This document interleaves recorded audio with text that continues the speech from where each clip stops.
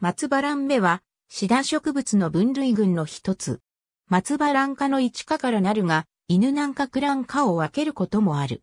日本には、松葉蘭一種のみが自生する。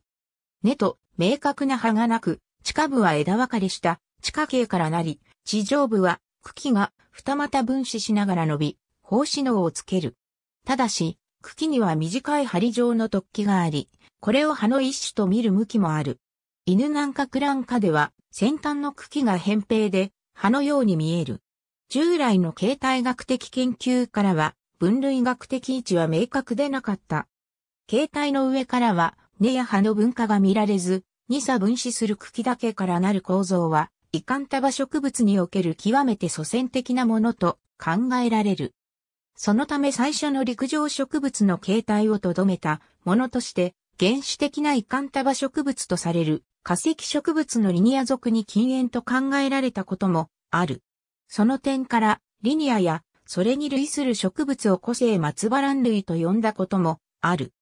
従来は葉がないことなどから日陰のカズラ植物門に含めたが、分子系統解析により大葉類の一系統であることが明らかとなった。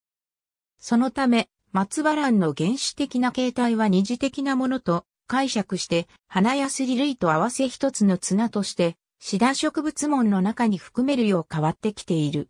ABC スミスエトールハット、ソルティスエトール。ありがとうございます。